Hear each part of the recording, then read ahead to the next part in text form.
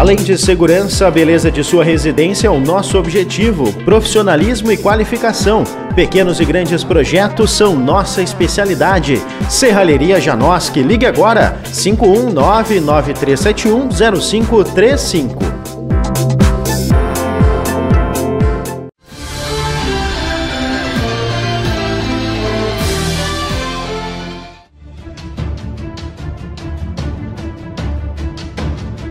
A decisão do Supremo transferiu para a Justiça Federal de São Paulo o trecho de delações de ex-executivos da Odebrecht, que citam o ex-presidente Lula em duas ações penais que tramitam em Curitiba.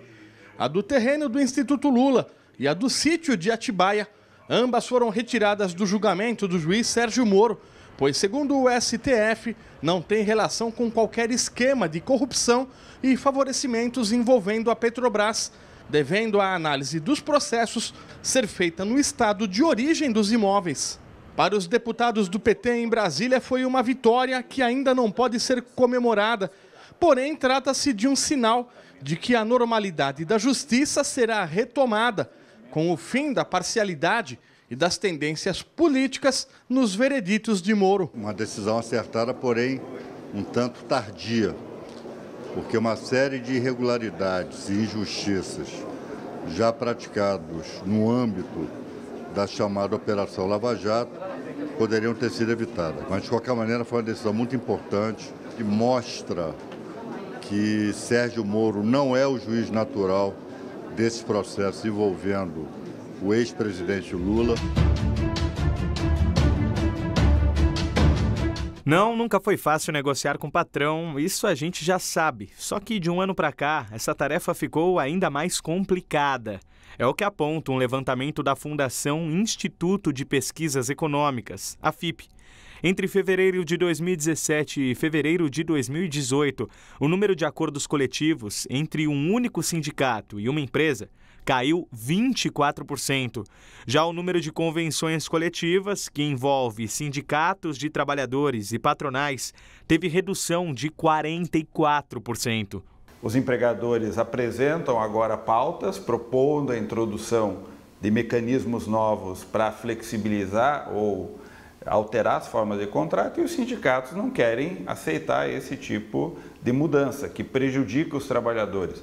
Isso tem dificultado mais as negociações coletivas, elas passam a ter processos de negociação mais longos, o movimento sindical resistindo a essa pressão patronal e as negociações acabam não sendo celebradas. A folha salarial, o somatório dos salários dos trabalhadores, também apresenta queda há três anos. Passou de 110 bilhões de reais em 2015 para 100 bilhões em dezembro de 2017, último mês levantado até aqui. Primeiro, a senadora Ana Amélia, do Rio Grande do Sul, deu a entender que a Al Jazeera podia ser uma agência de propaganda terrorista ou de organizações terroristas, como seria o Estado Islâmico ou Al-Qaeda. Depois, o senador José Medeiros, eh, do Mato Grosso, ele ameaçou ou pediu que a comissão de ética do Senado processasse a senadora Gleisi Hoffmann por causa da entrevista que ela deu para a Al Jazeera aonde ela comentava, na sua opinião, a injustiça da prisão do ex-presidente Luiz Inácio Lula da Silva.